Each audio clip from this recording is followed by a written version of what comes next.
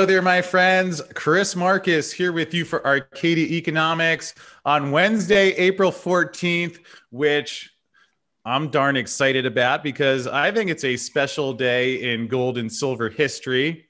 I'm not going to tell you exactly why yet, but a great reason to hit that subscribe button and the notification bell and see what surprises may be coming later on. Um, of course, this is ahead of next Tuesday, April 20th.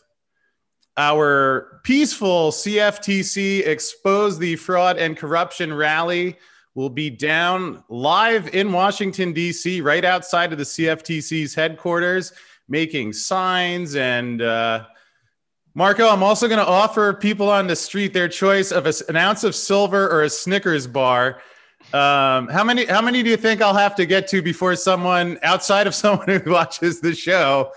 If we went around Congress, how? If I offered hundred congressmen an ounce of silver, or a Snickers bar, what what do you think the results would be, sir? I, will I'll I'll take the silver silver bar any day, but uh, yeah, I, I I think you'd I would like to know how many of them wouldn't wouldn't to stop at Costco for another reload on the Snickers before it is all said and done. All where are my manners? Marco Roque, pleasure to welcome you back on in for the last couple months. You were a sponsor to the show for a while, which I certainly uh, am grateful for. It was nice to catch up with you at a conference. Uh, I guess it was two or three weeks ago, and hear that things have really gone quite well. So, uh, full disclosure, I'd like to add there's no sponsorship of today's episode or anything like that, but we really just wanted to have you back on because uh, you know I understand there's a lot of conflicts of interest in today's financial world, but whether it comes across or is clear or not, any of the companies we bring on, I don't have a crystal ball, but I check with as much as possible, do my due diligence, talk with people who know the management. And uh, I was just really excited to see that you guys have done really well since then. You've followed through on what you promised and what you said you would be doing. And uh, we'll look forward to digging into that as well today. So it's great to have you back on here. And uh, I won't tease the audience anymore because obviously, you know, I, am sure there's a, like a few people in the world, not on Wall Street, but saw that consumer prices, this was yesterday, rise more than expected. well, I don't know who set the expectation on that one but pushed by 9.1% jump in gasoline, which is odd. I thought they don't even count that in the CPI anyway. But Marco, it looks like the uh, annualized, we're now up to 2.5% on the uh, government and the numbers that the Federal Reserve looks at their fraudulent statistics. But maybe we'll start simple here. I know the Fed talks about their 2% mandate is two 2.5 is it bigger than two? I went to a government school so let's start there uh, for all the americans watching today. Well uh, yeah the way i see it 2.5 is clearly above two. Uh, and I, am not i don't even i don't i'm not even sure if it includes the um, uh, the energy prices uh, on that estimate. I think uh, so and and and and uh, just just on top of that uh, i'm just looking at my my screen right now and i see wti is just up uh, almost 5% today. Um, hmm. so you know if you feel if you feel that gasoline is, is getting more expensive um, i think it's you know uh, it's uh, it, it's going to feel uh, you're going to feel a lot more expensive in in a, in a week or two. Yeah well this is interesting. These uh this is the March figures. And let's see, as Marco quite astutely pointed out, we see gas, uh, oil crude futures up uh, four and change percent. Interesting, uh, depending on when you measure in March, a little lower. So I don't know, maybe. Maybe uh, Jerome Powell will explain at his next meeting that you know they're Marco. I hear the the kids today they call this an inflation deficit. So you shopped at a supermarket where your food prices might have been up like a little bit more than 0.1% last month? Yeah, uh, it is. It, it, when you can get what you want, uh, because uh, a, a, lot of stuff it's it, it's actually quite quite hard to get, and um, so yeah, uh, it's it's uh, it's it's definitely not not pretty out there being a consumer. Yeah, although fortunately, as you can see here, Marco, um, I mean, because I don't want to alarm anybody watching the show today. Good news: the core CPI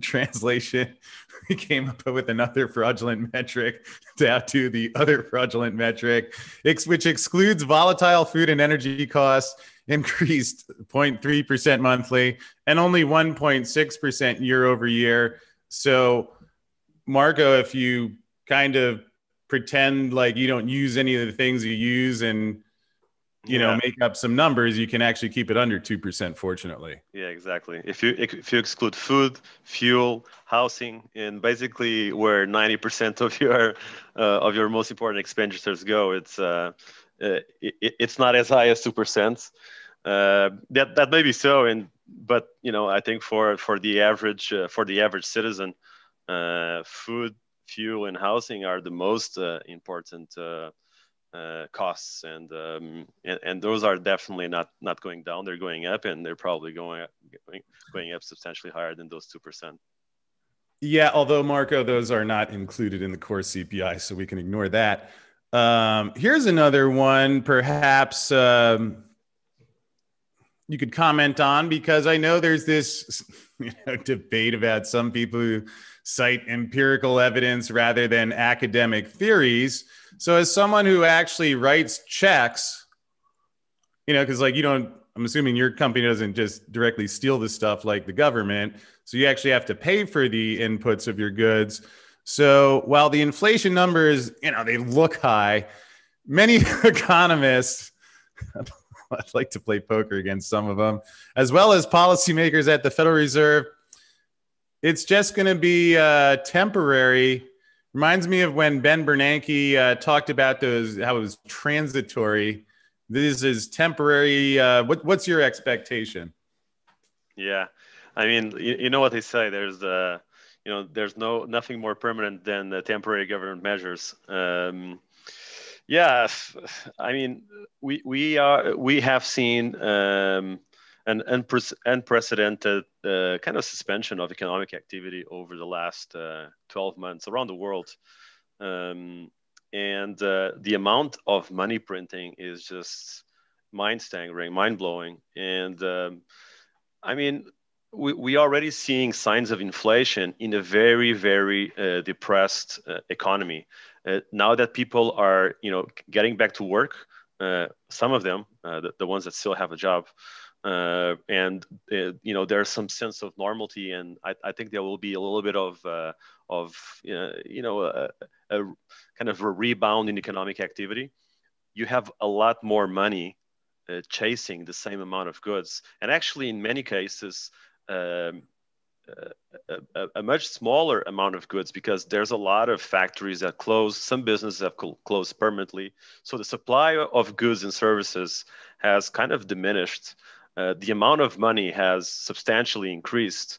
And as we get into this recovery, that much bigger supply of, of, of uh, amount of money is going to be chasing a, a, a smaller uh, amount of goods and services. So I really don't see uh, how how you can um, how you, you won't be seeing inflation.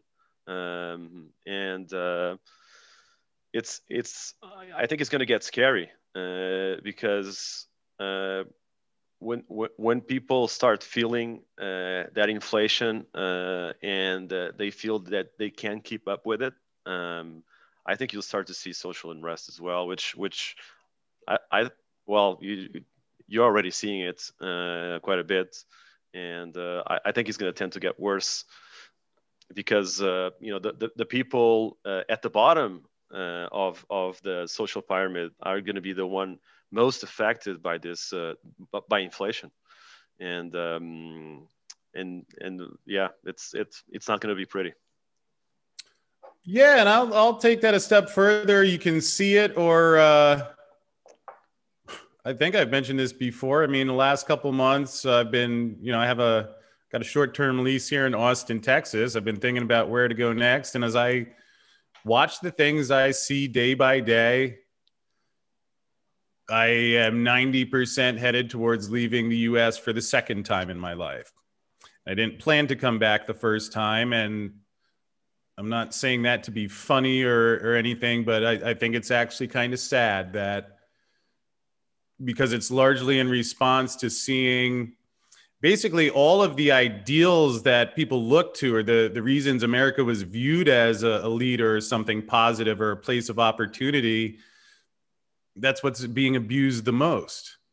It's like uh, it's like when I find evidence of, act, of illegal activity in the financial markets or elsewhere. It's like you, you tell the authorities they and they act like offended that you're presenting the evidence to them. And um, anyway, you know, but I guess in the end, that's something I wonder, especially back to uh, how companies respond to this, because you hear, you know, the the numbers are going up. They say it's temporary. Of course, April likely will also show a sharp rise, but then the numbers are supposed to decrease as the worst months of downfall. You know, they. I mean, we've been hearing that for uh, decades, almost a century now. Um, and then when it comes to how to pay for it, it's usually either printed money or I see Joe Biden. There was a headline that he is going to you know they, they just callously like uh, he's gonna grab two trillion in overseas profits. Gonna grab it? What is he like playing softball and it's like a line drive or something? I mean i'll bet the uh, i mean you have an international company. I bet if he grabs it from your company because you have maybe an employee uh, employee in the us the, what what is grab? I mean that that that's that's the kind of thing that to me gets business owners taking capital out of a country, or at least from what I've read historically, those policies people notice. Do you yeah. have any thoughts on that? No, absolutely. I think uh, it, it's it, you know it, it's really wishful thinking. You you, know the people you know tend to just go for the easy solution. Oh yeah, let's let's just you know let tax the rich um, you know, you know, in all fairness, that's that's uh, that's you know fairer than than tax the working people, but you tax the rich, and they're gonna pick their money and they're gonna move out uh, elsewhere. So I, I, think you know politicians um, need to really think very carefully about uh, the moves they will be making because uh, their their their decisions might uh, might actually have the, the reverse effect that they're intended to. And uh, actually, I've I, I've read many cases of uh, of policy, uh, you know, moving income taxes up and down, and in in many instances, actually, more often than not, decreasing taxes increases the tax revenue, as opposed to uh, uh, decreasing it, which is kind of um, you know goes against kind of like the first reaction common sense. Yeah you increase the ta- you know you increase taxes you know tax revenue increases. But actually in many cases because of that kind of crowding out effect uh, people think you know what uh, I, you know, I, I can't, I, you know, I'm, I'm, I don't, I don't want to do this anymore. And actually, you, you see that even internally in U.S., uh, you, you, you have a, a lot of people over the last, uh, you know, a few months uh, or so moving uh, from, for example, California going to to Texas, um, and you know the differences in, in the tax are, you know, not that big, uh, but you know at, at the end of the year, those you know a few percentage points make a difference in people's finances, and uh, and uh, they have to they have to think what's best for themselves. Yeah, I can certainly understand that. It seems like, uh, at least according to this article, that Nancy Pelosi's husband was thinking about what was best for themselves. Although, Marco, I won't get you in trouble and. You don't have to comment on any of this, but just would you like to be part of a moment of history? Because I solved the U.S. tax issue, and I'll just you don't you can comment if you'd like. You can pass if you want, but would you like to be here while I announce the solution? Yeah, I'm here. I'm listening. We can we can pay for the latest bill here's a tax program that I think everybody could support. So why don't we raise taxes on congressmen or any political people that use their abuse their power to front run bills and buy call options ahead of government contracts? I think that's something that anybody could support. I would think, based on Nancy Pelosi, the things that she gets up and says on TV about weeding out corruption and all that, that I would assume she would be in favor of voting yes. I mean, that would be a good, it just seems like a fair area to tax that anybody could support, you know? I, am you know, you, you got my support for this one. I like yeah. that. You, well, can like, extend, you can extend that to any politician. Yeah, well, uh, fortunately, I'm going to Washington uh, next Tuesday and uh, inviting a bunch of my few thousand of my friends, and, and we'll make some signs. Uh, we're going to stop by the White House too. Maybe we'll go by that Capitol building where they uh, the police removed the barricades so people could walk in a couple months ago, and uh, maybe Nancy will be walking by, and we could suggest that proposal. Um, I mean, if there's ever been something bipartisan agreement, you know, Democrats, Republicans, I mean, I can't imagine someone running for office would vote against a proposal like that. But well, any if, if it reaches the floor, yeah. Yeah, well, uh, fortunately, I'll take some cameras with me and uh, we'll report back on that. But back to enough the funny stuff. Back to the gold market was probably sometime around here. Uh, I'd say October, November, first time we had John. And in the midst of, you know, finally inflation, you know, like finally we had a break in the inflation deficit the Fed was worried about. Yet over that period of time, we've seen gold go from over 2000 bucks today sitting around 1750. Any thoughts on that and where we're headed next? Yeah, absolutely. I, I, I think this is this is the bargain of the century. Uh, to be quite quite honest, um, like the setup for gold has never been better. This this is this is a unique moment in history, literally. Uh, and I so say for for gold and silver, I think uh, central banks have put us put themselves in a trap. Uh, governments are over indebted.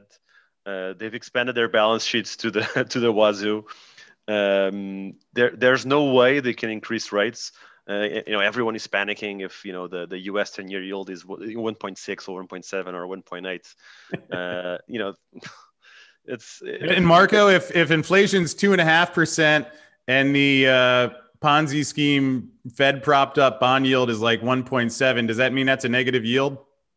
That, that's definitely a negative yield, and I know I don't know any investor that is, uh, you know, unless he's forced to, uh, to invest in a losing, a guaranteed losing proposition, and that's uh, and, and that's a big portion of the bond market these days. Well, and, well, I'm sorry to interrupt, Marco, but in all fairness, yeah. you know Jeff Currie of Goldman Sachs. Yeah, you do. No. Oh, so the, okay. I'm just pointing out. You you said yeah. you don't know of anyone, but there I think I yeah. know someone out there who may fit that category. Yeah. but anyway, please continue. Yeah. Well, uh, you you might. I, I'm not going to be following his advice. That's for sure. He's he's got some different perspectives on certain matters for sure. Um, although I have a question here. This one's interesting. Here on the bottom, we see the gold chart. This is just 2021 goes from 1950 down 200 bucks. Now I've isolated the Fed's balance sheet over that same period of time where it went from 7.3 trillion to 7.7 trillion. It looks small because the numbers get so big. Yes, just 500 billion, half a trillion. A drop in but, the bucket. Now, I watched this clip once of Ben Bernanke saying he doesn't understand gold, doesn't know anybody who does either while he inflated the currency. But, you know, I have some weird hobbies. I read these history books. And I don't know if this is another conspiracy theory I got suckered by, but at least I read these people who say that the dollar actually used to be a measure of gold. Like the whole point of it was that rather than having to carry your gold everywhere, it was put in a bank I mean, there's these wild stories, uh, you know, like the historians talk about a gold standard, and basically, which lasted until the London gold pool imploded, and Richard Nixon pr- pr- protected us from the speculators who are out driving the American goods up. So he removed us from the gold standard the last time that scheme imploded. Then they created the COMEX futures and the CFTC in the early 70s while inflation was raging to propagate that scheme. The CFTC has played their role as the dirty cop, which we'll address publicly next Tuesday, ever since then. So, you know, and I hear all these guys say about how, you know, Silver Squeeze is a bunch of uh, keyboard thumpers. Should meet this this guy Dick from Australia and hear some of the things he says.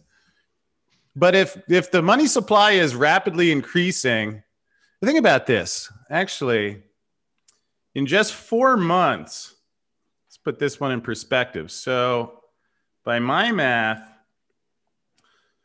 0.5 divided by 7.3. So that's seven, 6.8% increase in the Fed's balance sheet this year alone. Yet the price of gold is down $200. So, what would you say to folks who, uh, you know, are wondering what to, to, to do with all of that? Well, you know, I, I know all the arguments about the uh, uh, the, the price manipulation. Uh, for me, I, I just go straight to to what's practical. Uh, you know, if they're manipulating the gold price and they're suppressing it in the same for silver, you know what? Thank you very much. I'm going to be buying at discount and I'm going to keep it for myself. I'll buy it physical. I'll I'll uh, I'll buy ETFs that are have allocated golds uh, no you know no ious no promises no unallocated goals um, and i'll just take this opportunity you know thank you very much uh, i think that's uh, you know uh, thank you. Thank you for for providing this this discounts. Uh, yeah. And that's what i'm doing. I'm i'm i'm adding to to my gold position uh, my physical gold position and my silver gold position. I'm adding to uh, to Cassiar as well, to, to the company. So, um, you know, this I, I think this is this is quite a, a, a unique moment in history, and uh, I think people should be uh, very careful not to not to leverage themselves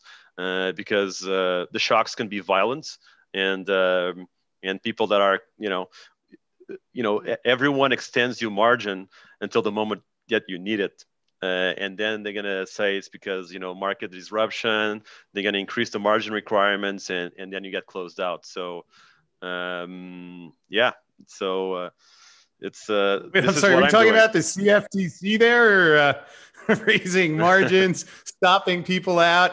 Um, maybe you it's every, every everyone on the financial system. Sachs. yeah, I think it's everyone. Uh, it's everyone, and you, you know, and you already have uh, it's even in this crazy stock market, uh, you're already having uh, you know issues with with funds and margin calls, uh, and, um, and you know and, and everything everything seems to be uh, you know being inflated up. Um, so I you know I I expect to be you know I expect to be a very very bumpy road. So I think uh, I think margin is dangerous, and again, you know, physical, physical, uh, physical is king. Yeah, well, it makes a lot of sense to me. And I'm going to be fair. I'm going to give a disclaimer. I know there's a lot of, uh, especially Americans, that are into the chasing momentum, buy high, sell low strategy. And I get it. I know I'm old fashioned with my fundamentals. So anyone, you know, that doesn't want to hear the, you know, the buy low thought process, uh, you can turn it off now. I mean, I don't want to keep you. But for anyone that uh, is interested in what I heard as I've been doing the interviews and had to, you know, talk with people who made a lot of money in the financial markets, they all talk about buying when everybody else is panicking, um, or perhaps, you know, getting long precious metals or companies that have exposure to precious metals during times when the currency is being hyperinflated, yet the price is down. I get it that, you know, maybe some days we like seeing the price go in our direction, but I don't know, having, I'd like to think I have a few credentials in my background as I've studied trading and gotten maybe some things right, gotten clobbered on others, and hopefully learned. Yet maybe it doesn't, it's not really like the fundamentals. Maybe that part's easy to figure out, but having, it's like, you know, maybe you know it's great to go to the gym and exercise, but do you actually go there or do you read books about it? So when prices are down, do you sell in panic or do you buy and sit patiently and hold? So anyway, we'll dig into that for a second here. Um, anyone who's interested in that, because Marco, I'm going to be honest with you. I think you're doing a lot of things right, although I have a website tweak I may offer. Just a suggestion. You know, I don't want to put you on the spot here, but sounds good. No, no, any feedback is good. You can just hear me out. so, I mean, it's beautiful what you have here on Cassiar, but actually, you could save a couple bucks on the investor relations. What if you just posted the video of Jerome Powell's appearance on 60 Minutes as your homepage? So that way, it's like you don't have to like you know leave anyone saying, "Oh, he's talking his book." Just just let just put that on loop. So anyone who comes there, they like listen to Jerome Powell for two seconds. They'll be like, "Take my money, please, please, give me shares, anything." Tungsten, I'll take it. Anything but dollars. No, that's that's a good idea. I'll I'll maybe uh, put it in the uh, why gold section. I, I mean, would you agree that anyone in the gold and silver industry really, for being fair, would be, you know, at least think about sending Jerome Powell a Christmas present? I'm going to send the CFTC and the Fed. I'm, oh, there's my friend Brian London. I, nice to see. Uh, you going to be at uh, New Orleans show this year, Marco? Yeah, I will. I will. Mm, very nice. Well, I'll be looking forward to meeting you in person. Uh, yeah. At least if they have not made it mandatory to have a microchip vaccine to get back into the country. I would like to be there, but um, great to see you with Brian and. Uh, yeah, and uh, it's it's uh, enough about the Fed and all that stuff. It is also nice to see that you guys have followed up, and can can you perhaps provide an update on how things have gone since we last talked about that? Yeah, no, absolutely. Uh, things things are going really well. Um, yeah, so we uh, just just maybe as a, as a as a bit of a background for for for the listeners that might not know the story. So Cassiar Gold is a is a Canadian explorer. Uh, we have our flagship asset located in uh, northern BC. Um, we have uh, control of an entire district. Uh, it's it's a 56,000 hectare land package.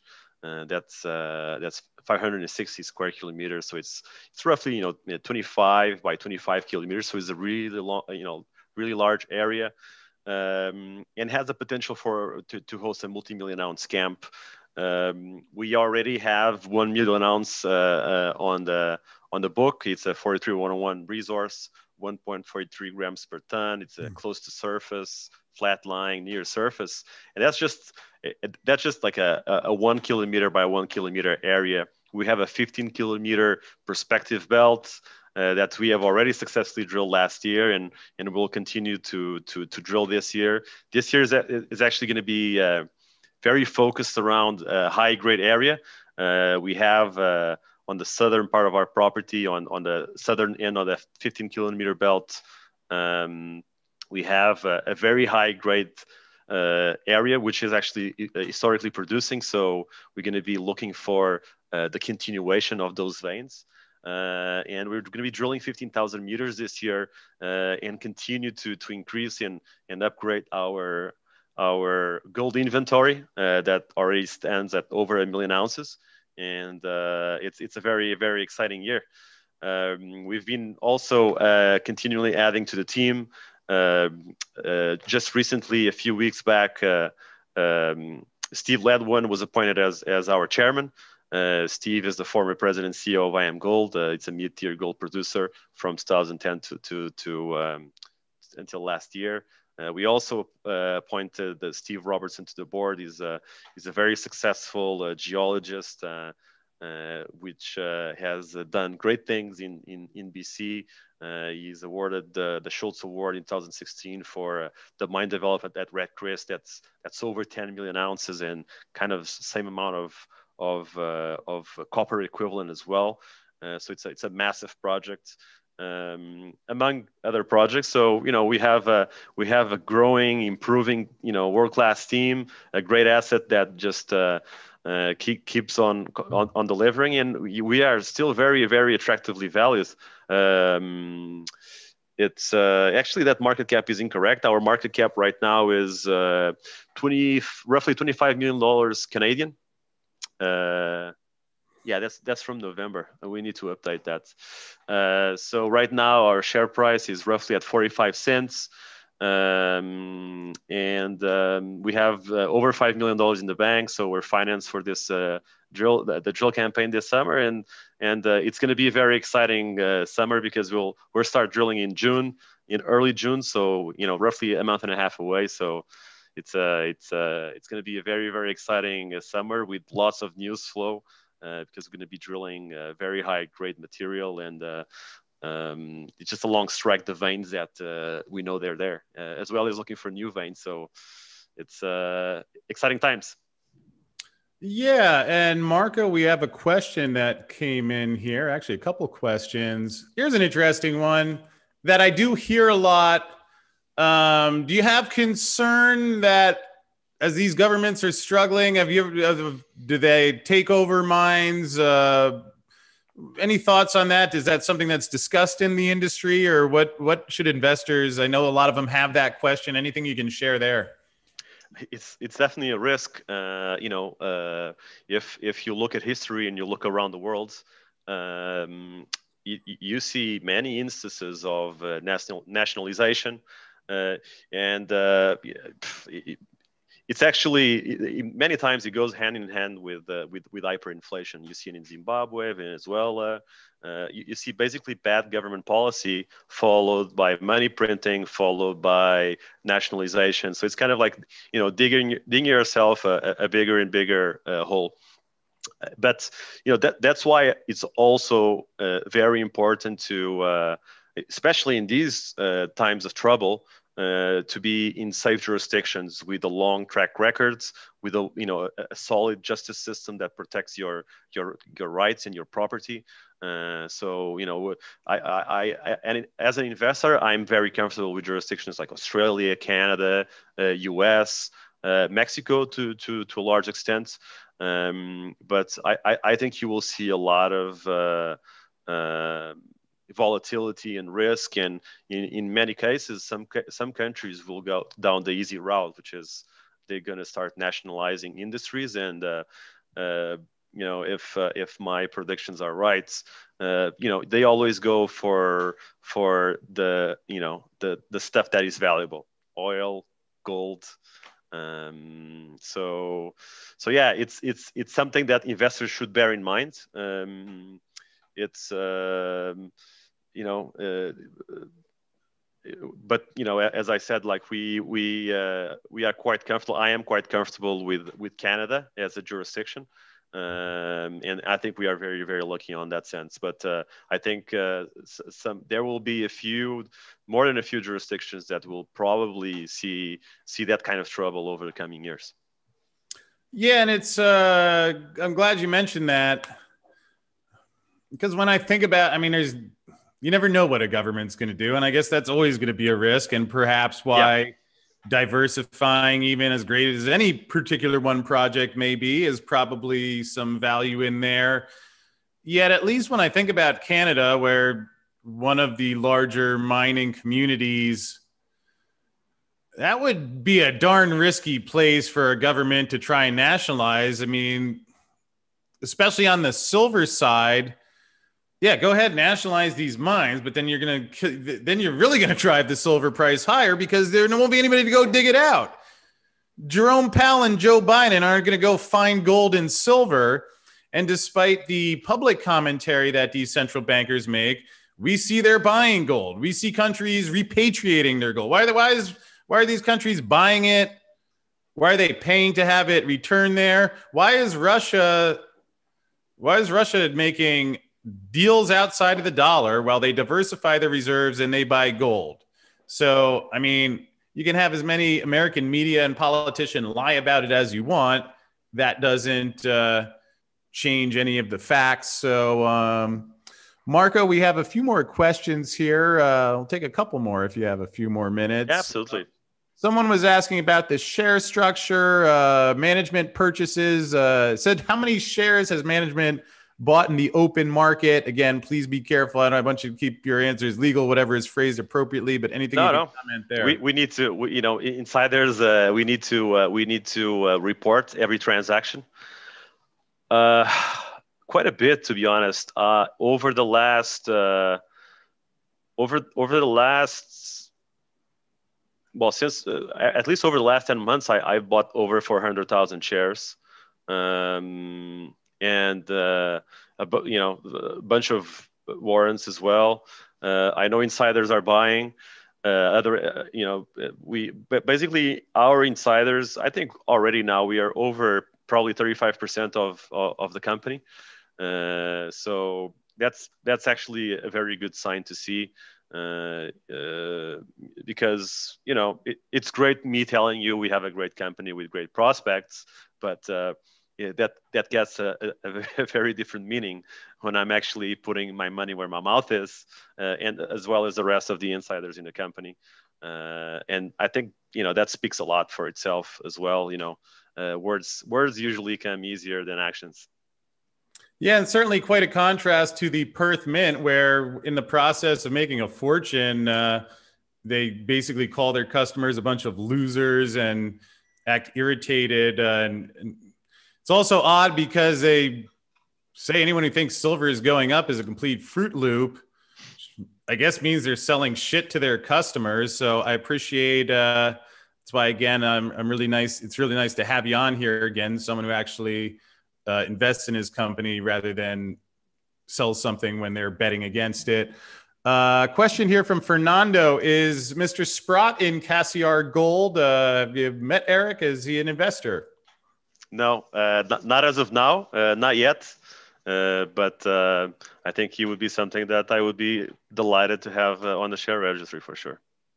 Well, let's say Eric was watching today, and uh, what would you highlight to Eric or anyone who might be new to Cassiar? Again, we're not giving legal financial advice here, but yeah. what would you say is the most important thing someone should know?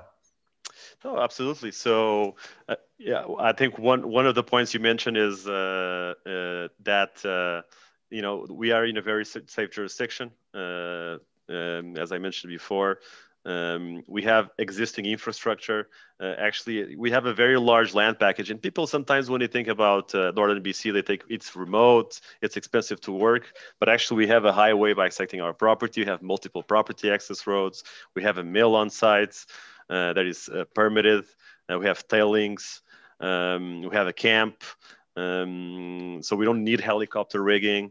Uh, so so yeah so we have you know a safe jurisdiction we are uh, we have all that existing infrastructure we are quite you are very attractively valued um, you know we have 25 million market cap five over 5 million in the bank we already have over a million ounces of gold you know the, the contained metal value at you know a thousand seven hundred us dollars that's 1.7 billion dollars just there uh, and uh, you know we, we expect to find a lot more and that's uh, that's what we're gonna you know that's what we were doing last year and we will continue to do this year as well and um, it's a it's a very attractive entry point uh, and um, I think uh, uh Mr. Sprott should have a proper look at what we have.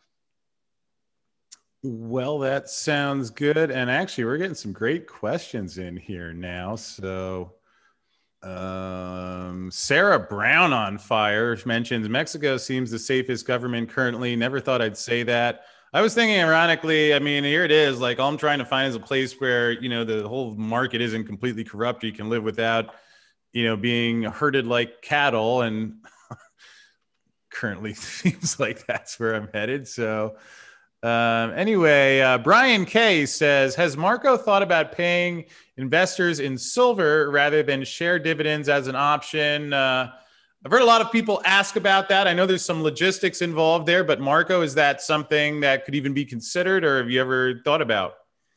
Yeah, uh, actually, there, there's companies that do that. Uh, that they there's gold producing companies that uh, that pay dividends uh, in uh, in basically in coin equivalent. So usually they have a deal with the mint uh, where the, the the the investor can exchange his cash dividend uh, by equivalent uh, amount of of bullion.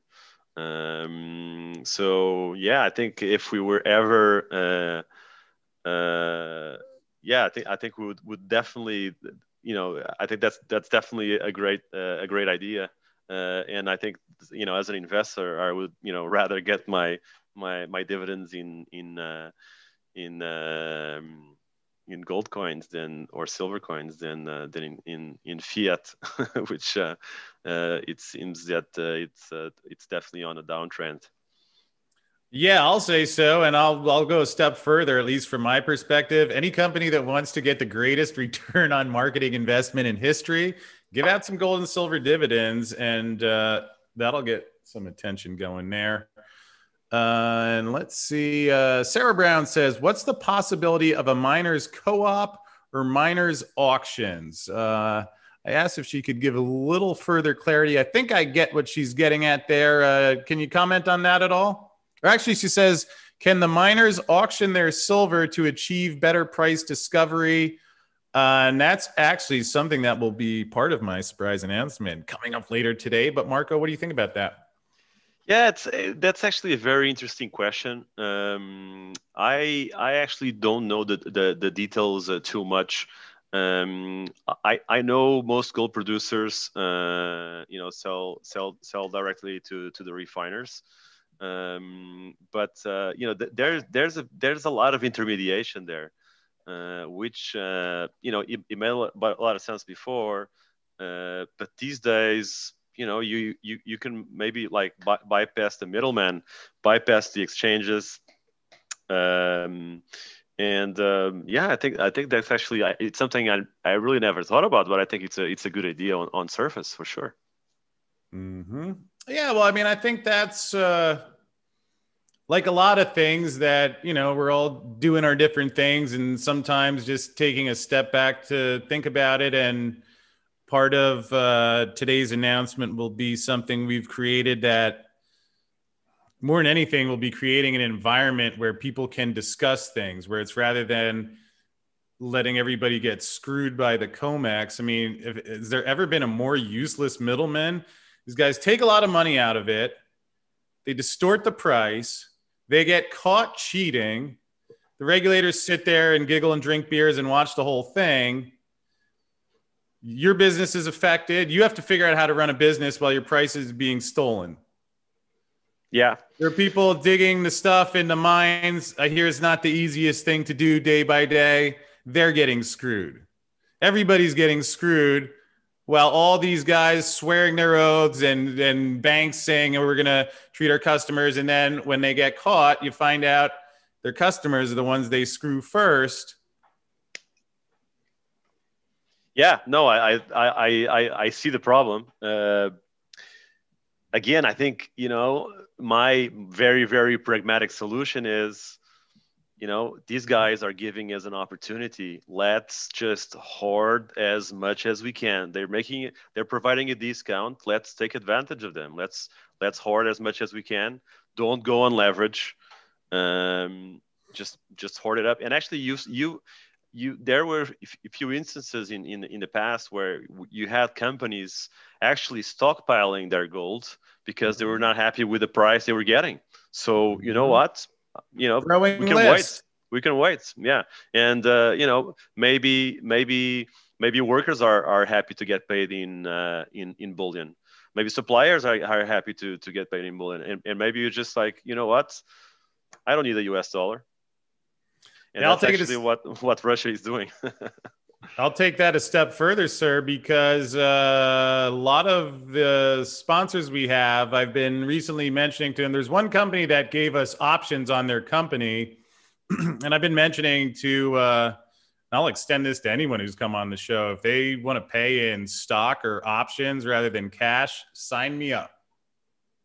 Yeah, that's absolutely. all I need. And yeah. um, yeah, who knows? Maybe we'll, uh, you know, and you can tell your friends about the same thing too, about if they're paying uh, some of these ideas you have that, of course, a complete conspiracy theory about paying in gold and silver, using real money. But I don't know. It's like maybe uh, the good people start hanging on to the gold and silver. I have this fantasy. Maybe in like a couple of years, we can buy California after they're so bankrupt. You know, we'll just get a little chunk of it, you know, and we can have Freedomville there anyone who wants to live like a normal person without being told what to do endlessly, uh, you know, we'll see how it goes. But in either case, Marco, sure appreciate you being here. And uh, perhaps if there are any uh, anything else you'd like to mention or tell folks how they can uh, check in, get more information, if they'd like to reach you or someone from the company, how they can do so. Yeah, absolutely. Uh, you know, thanks again, Chris, for, for having me here. It's, it's always great to talk to you. Uh, yeah, regarding Cassiar Gold, um, you can find us, uh, you know, on the typical uh, media channels. The, our website is www.cassiargold.com. Uh, that's two S's. Um, we can find us on on Facebook, uh, LinkedIn, Twitter, Instagram. I don't think we have a TikTok account yet, but uh, if not, I'll, I'll, I'll be sure we, we create one as soon as possible. On well, YouTube as well, you have some videos there that uh, that uh, I think it's uh, it's worth worthwhile watching because uh, it's you know it's an opportunity to know the, the company a little bit better as well. Yeah, and here you can sign up on the mailing list. So, Rocco, especially if people, if you find any silver while you're out there, uh, out there digging, you know, that can keep us posted there. So, sure appreciate you being here. Thank you for all of your insight. It's great to see you again, and again, it's it's really nice to see.